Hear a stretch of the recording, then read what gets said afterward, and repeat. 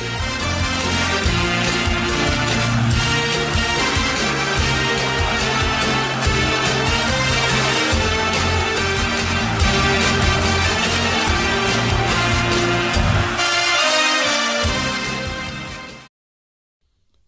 Em meio à insatisfação dos jogadores com atrasos e redução de salários acima do esperado, Raí, executivo e Alexandre Pássaro, gerente de futebol, se reuniram com a comissão técnica e jogadores do São Paulo na última segunda-feira no Citria Barra Funda para explicar a crise financeira do clube. A conversa serviu para os dirigentes passarem aos jogadores qual é a situação do São Paulo agravada pela pandemia do coronavírus e com impacto direto nos salários dos atletas. A reclamação de alguns jogadores era que o pagamento feito em junho corresponde a apenas apenas 20% dos salários na carteira. Outros apontam não ter recebido nada neste mês. Nessa conversa, os dirigentes do São Paulo tiraram dúvidas dos jogadores sobre os problemas financeiros e também falaram a respeito do planejamento técnico para essa nova pré-temporada.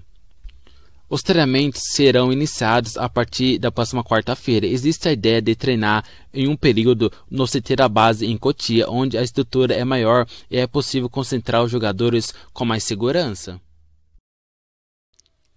O São Paulo vai começar a fazer exames do coronavírus nos profissionais da base sub-20, nos mesmos moldes do procedimento realizado no elenco profissional. O Hospital Albert Einstein será o responsável por aplicar os testes de segunda a terça-feira no CT da base em Cotia. A orientação é que as pessoas façam os exames e depois deixem o local. Os testes serão feitos em três etapas. Nessa semana serão chamados os que moram na capital paulista, depois os moradores da Grande São Paulo e por último os que moram fora do estado. Nesse último caso, os atletas serão orientados a realizar os exames nas próprias cidades em clínicas indicadas pelo São Paulo.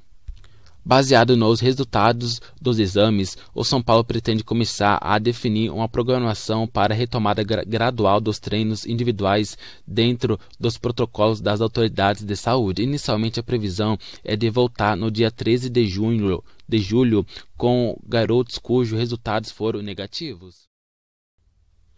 Não há até o momento a previsão de reinício dos jogos das competições da base. Sem treinos presenciais, os jogadores fazem trabalhos online, recebem atendimento psicológico e têm aulas por vídeo. Para entrar no da base em Cotia, há controle de temperatura em uma estação de desinfecção. O São Paulo reintegrou Paulinho Boy ao elenco profissional, portanto, o atacante está à disposição do técnico Diniz para a sequência da temporada. Além disso, a diretoria retomou as conversas para negociar uma prorrogação do contrato por mais dois anos. O atual vínculo termina no fim deste ano.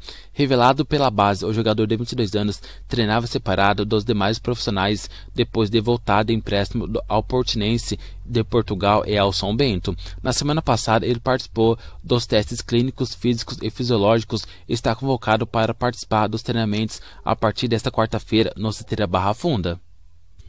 Pelo profissional de São Paulo, Boy atuou menos de 90 minutos, somando todas as sete vezes em que esteve em campo.